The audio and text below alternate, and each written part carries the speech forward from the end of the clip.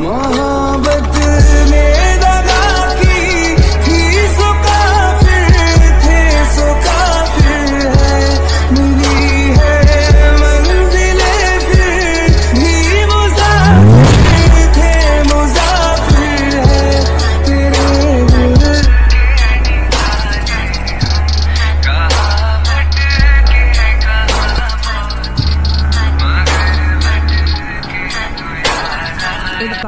तो mood off video कैसा रहा? कमेंट सेक्शन में ज़रूर